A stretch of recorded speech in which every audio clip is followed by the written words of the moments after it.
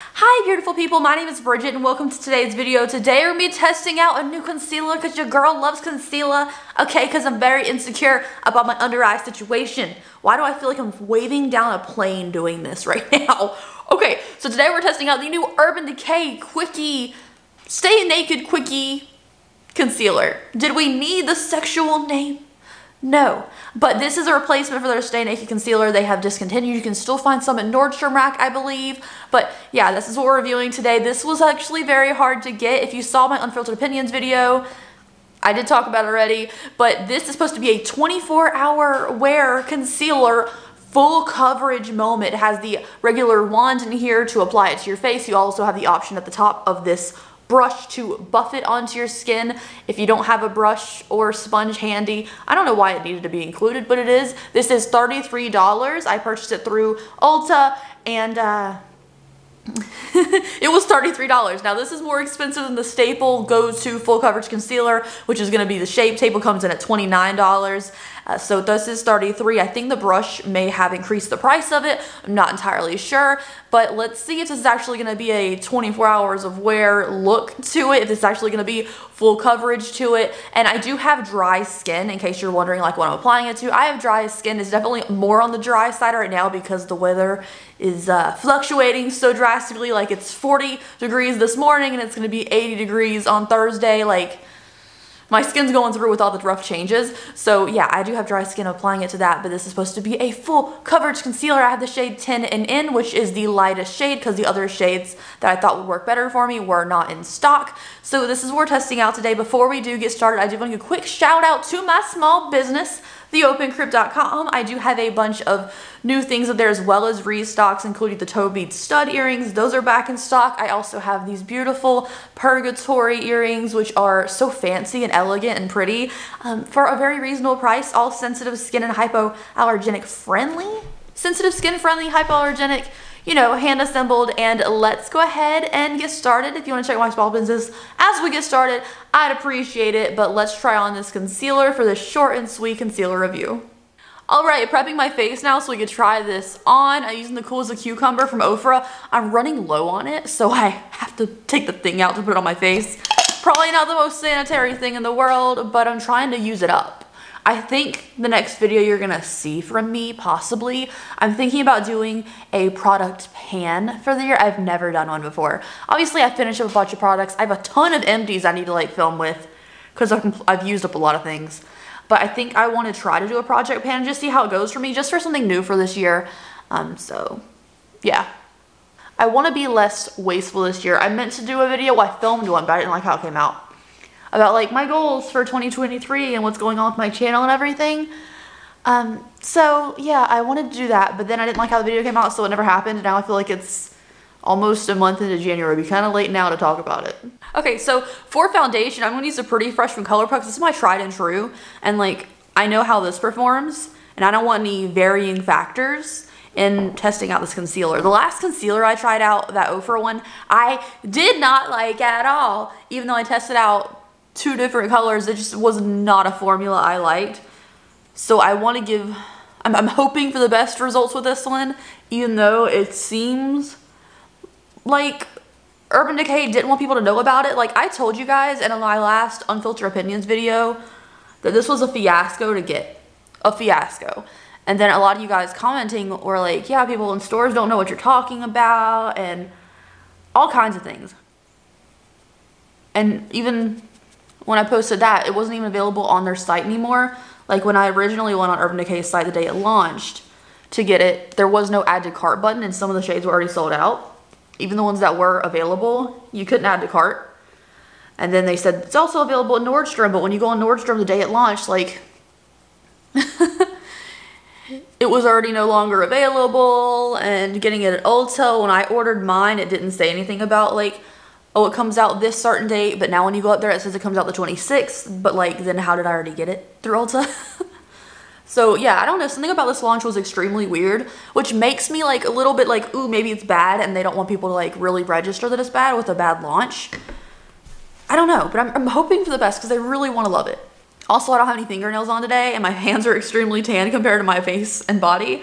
Um, but yeah, that's fine. So let's talk about the actual concealer unit before I put it on. So the Naked Quickie, haha, so funny. it's not even funny. Up to 24 hour wear multi-use concealer. It has a brush on the top you can use. People kept screaming bacteria in the comments when they first announced this product. Um, but you can wash this. Like it's not impossible to wash. You can wash it. And also the other option, I can't get it open. I cannot get this thing open. I can't get it open. But one thing I just noticed is that the bottom label is very weird. I wonder if it's it's smooth, right? So it's this is how the, the sticker was printed. But I wonder if this was a different concealer and then they put this weird label on the bottom to cover up the original name of the concealer. Because look at the label, right? Like, do you think this used to have the old, the old concealer name, like the Stay Naked or whatever concealer, and they just reuse the stickers by putting the sheet back in the printer and blacking it out? Because that's a weird way to label your, to label your shade. So you have the option of the brush and you also have the option of the wand. Issue is, I can't get it open. Okay, I got it open. It was extremely hard. So I'm to do one side with the regular wand applicator. I'm to apply just what I think I need. Okay, so it's on both sides. Like I said, for this side, I'm to apply it like normal. I'm to use my regular sponge, and I will use this buffet thing on this side. So let's start off with the sponge, which is regular. It's thick, I will say. When I blend it, a lot grabs onto the sponge. But it doesn't blend away from my face. Like it stays thick, which means it's probably to keep its coverage. Which is nice. I don't know its coverage yet. It does blend easily, so I've already blended it over my entire eye area because I'm not going to use an eyelid primer today. So this is what it looks like. I don't think the coverage is absolutely phenomenal. Um, I think it's very brightening, but like it is texture. Ooh, hold on. It is texture city right here. I don't know if you, the screen looks so bright, I don't know if we can tell. It is texture city. Over here, like I am seeing every bit of texture I've ever had in my entire life. And now let's take this buffet thing. I'm gonna buff just the little spots out and my under eyes. This brush isn't very, it doesn't have like a tip on it, right? So it makes it very hard to get into that very inner crevice of my eye. Okay, so I hate the brush. I feel like it's too, um, it, it, like really gives a lot. And when you want a foundation brush, you want it kind of to stay where you want it. So I'm just gonna little places, tap over it with a sponge. And I'm gonna do two layers of the concealer on the sponge side and we'll see if it like really helps the coverage any. But like I just see how, I guess wrinkly my skin looks. Just shows every bit of texture with this. Maybe when I add powder to it, it'll kind of settle down and look more smooth. I love the color of the brighteningness of it, especially when I do a tinted powder on top. It kind of just dulls my face down anyways. So I feel like when I have a brightening concealer, it's nice. I didn't need the lightest shade. This is the lightest shade. I didn't need this color shade. Uh, but the other one that I thought would fit me better has been sold out. I don't even know if it ever launched, truly. Because again, I was trying to get this right at launch and I couldn't find it anywhere. Okay, it's creasing a little bit under my eye fold. I'm just gonna lightly tap that away. Here is my under eyes. Do we see all the texture? Like I see a lot. So let's set it with powder now. Okay, I have setting powder on my sponge and I'm going to set under eye concealer. This is a tinted setting powder. It gives me a little more honeyness under my eyes instead of just the stark white the concealer does. So I don't think my face is going to be as brightening, but we will see. Definitely would have to set this with a powder, even if you don't set it with a sponge. Um, I will say this does crease, but the majority of concealers do. Um, this one isn't the worst I've ever seen. And I'm gonna go ahead and set the rest of my face before we like examine my under eyes. And if you guys are interested in the Makeup by Mario Surreal Skin Fancy Foundation, I did review it. It was probably like one of the biggest failure videos on my channel. um, because I, I feel like people want makeup reviews because it makes it more searchable to get views and everything. But that one kind of failed. So if you missed it and you want to see it, uh, I did review it. It was interesting to say the least, especially for that price tag. All right, here is my face set with powder and the concealer and everything. I will say I don't think my under eyes look terrible now that they're set. I don't see like any great effects. I feel like it did do a significant amount, especially with some of my undertones. I feel like it really covered that. I don't color correct because a lot of concealers are so good. I don't have to, you know? um, I will say I do see the texture. Like I feel really textury under here. Like I just feel like I see everything. I feel like it just clung onto my texture instead of like smoothing and just going over my texture. I feel like it kind of sank into it. So yeah, there's that. I will go ahead and finish up my face. I'll be right back. And then maybe I'll get a better idea with how I like it. I feel like once my face is done, I'll be able to tell better. I don't know why. I just feel like I feel like I see myself in my mind's eye with a full face of makeup on, not like this. All right, guys, this is the finished look. I have to say I do like it a lot more now that my face is done.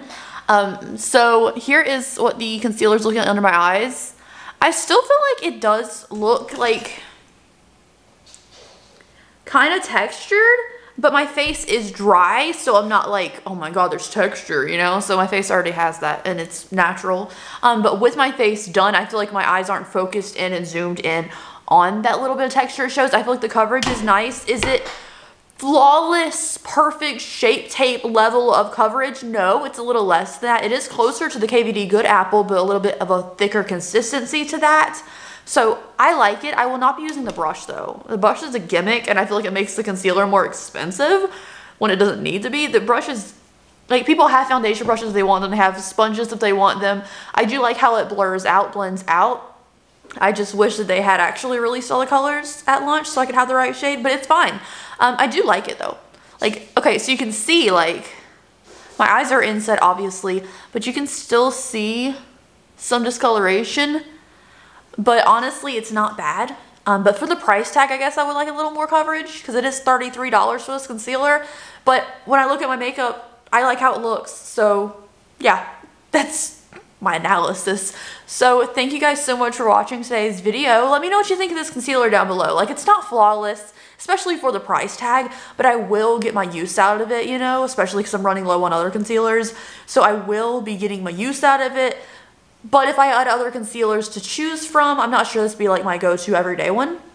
But at least when I do have a little bit of discoloration showing like this, but it covers up a lot of the blue or purple I have coming through. It does look more natural on my skin, even though natural isn't the look I'm going for at all. But thank you guys so much. Let me know what you think down below. You can assess the concealer on my face for yourself, and I will see you later. Have a lovely day, guys, and be safe out there. Okay, bye.